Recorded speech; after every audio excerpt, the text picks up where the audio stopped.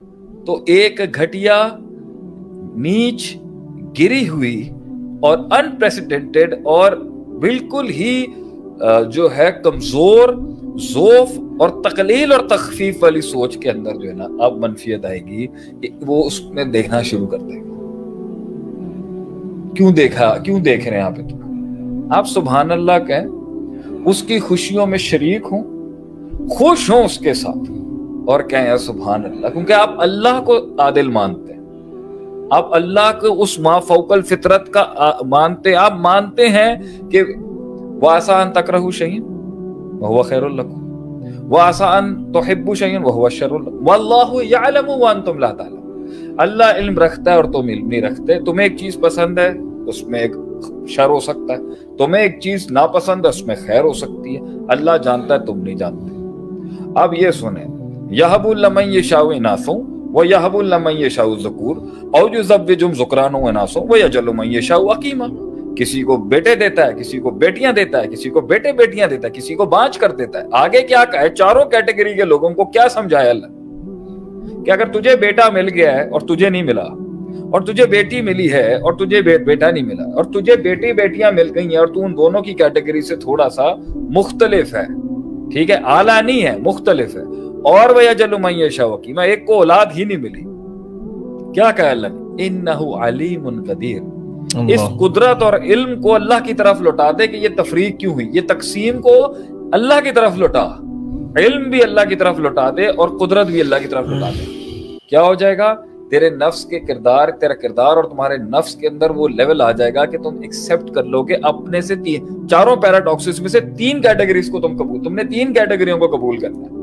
जिसके पास जो बांच है उसने बेटे वालों को कबूल करना है उसने बेटियों वालों को भी कबूल करना है और उसने बेटे बेटियों वालों को भी कबूल करना है जिसके पास बेटे हैं उसने बेटियों वालों को कबूल करना है और बेटे बेटियों वालों को कबूल करना है और बांच को भी कबूल करना है जिसके पास बेटियाँ हैं उसने बेटों वालों को भी कबूल करना है उस नेमत को कबूल करना है उसकी और बेटे बेटियों वालों को भी कबूल करना है और बांच को भी कबूल करना है ये तब होगा कि जब आपने अल्लाह की तकसीम की तरफ़ कजा को लुटाना है कि उसमें नाइंसाफी नहीं हो सकती। यह है हसद की असल बुनियाद कि जब इंसान तफक्र कर रहा होता है अगले की नेमत में, माइनसिंग द माइनसिंग द अता ऑफ़ अल्लाह ऑन हिम।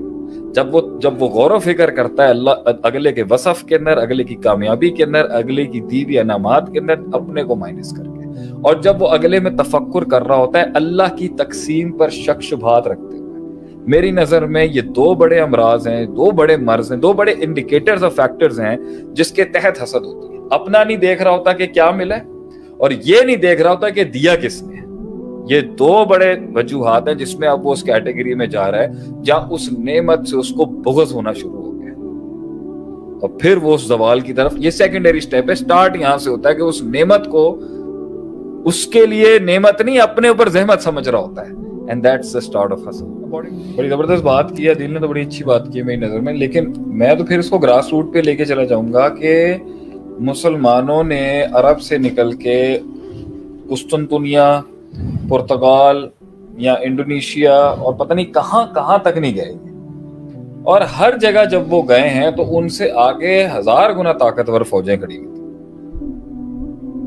हज़ार गुना ताकतवर फलसफे खड़े हुए थे।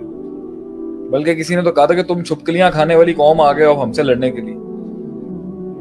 तो पॉइंट ये है कि तरबियत जो है, वो इतनी इंपॉर्टेंट चीज़ है। माइंडसेट जो औलादों का और बच्चों का बनाया जाएगा, जो एक पूरे माशरे की दरसगाहों के अंदर होना चाहिए था, जो एक स्कूलिंग सिस्टम में होना चाहिए था, जो एक पूरे माशरे की नॉर्म्स होनी चाहिए थी कि भाई कैरेक्टर के अंदर कैरेक्टर के अंदर अगर आप किसी को आला पाए अखलाक में किसी को आला पाए जर्फ में किसी को आला पाए इन चीज़ों में आला पाए। तो हम कहते हैं ना हसद के लिए एक लफ्ज बोला जाता है अलगिब्ता।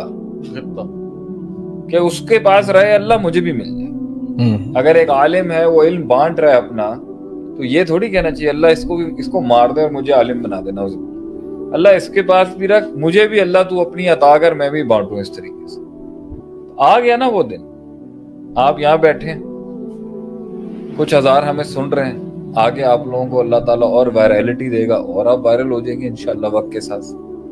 वो एक वक्त था जहाँ दीवारें थी और हम अकेले तन्हाइयों में थे।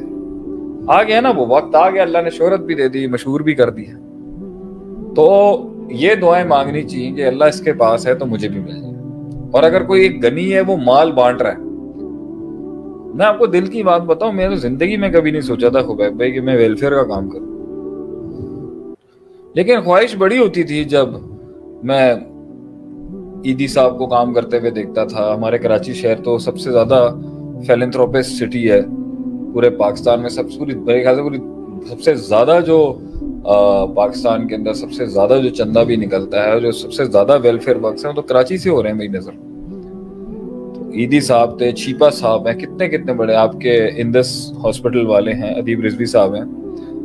वॉट मेराकुलस पीपल मेरे दिल में भी कभी आता था यार, मैं मुझसे भी अल्लाह कोई काम ले ले तो मुझे भी कुछ काम करने की तोफीक दे। हमने ये तो नहीं कहा ना भाई, क्योंकि इंदस हॉस्पिटल भाई, अब फ्री मुफ़्त इलाज कर रहा है तो इंदस हॉस्पिटल ही तबाह हो जाए नौज बिल्ला। अल्लाह ने मौका दिया फिर नीयत हो ना, अल्लाह मौका दे देता है इंसान इस दुआ, ये वाली इसको गिप्ता कहते हैं कि उससे नेमत ना छीन अल्लाह, मगर मुझे भी दे दे। This still this is again positivity rush करना। ये रश खराब नहीं है, ये तो मतलब खूबसूरती है कि भाई एक पॉजिटिविटी है ना आप में। बाद में एंड में ग्रास रूट लेवल पे आ जाएगी कि मुसलमान इन चीज़ों से नहीं, उसने कल को अगर प्रेसिडेंट के साथ भी बैठना है प्रेसिडेंशियल पावर्स के साथ बैठना है, फौज के साथ उठना बैठना है, सरदारों के साथ उठना बैठना है, उसने दूसरे मुल्कों के चौधरियों के साथ उठना बैठना उसने गरीब के साथ उठना बैठना उसने अमीर के साथ उठना बैठना उसने एजुकेटेड पीएचडीओ के साथ उठना बैठना है तो वो क्यों हिल रहा है? उसके अंदर की बेस क्यों मुतासर हो रही है उस तरीके से? अब हम ये भी नहीं लाना चाहते कि ऐसा गिना आ जाए कि बंदा उठा के अखलाक अखलाक सही रखे और गिना गिना की दुआ करे। अल्लाह असलुकल हुदा वल आफाफ वल गिना। ये गिना ये है कि अल्लाह मुझे तू मुस्तगनी कर दे दुनिया से। प्लीज़ अल्लाह मुझे तू मुस्तगनी कर दे, मैं मैं गनी हो जाऊँ। अल्लाह की सिफत है अलगनी, कि वो किसी पर डिपेंडेंट नहीं। अच्छा सारा फिसाद फिल अर्द जो है ना, वो फसाद फ़ी असमा व सिफात पे आ जाएगा, आप देख मैं जब अकीदा पढ़ाता था एक जमाने के अंदर, असमा व सिफात पे तो हमारे एक उस्ताद ने इतनी अच्छी बात की थी कि रुए ज़मीन पर जो फसाद है ना, उसका ताल्लुक असमा व सिफात के साथ जुड़े हुए अकीदे के फसाद में जाकर गर्क हो जाएगा। अब देख लें, यहाँ पर अल आदिल की सिफत के बारे में अल आदिल की सिफत के बारे में गलत अकीदा है, इसलिए उसने जो है ना, वो फिर जब उस फला क्यों कहा है, फला तकिल नफसी तरफताइन अल्लाह मुझे मेरे नफ्स के हवाले ना करी।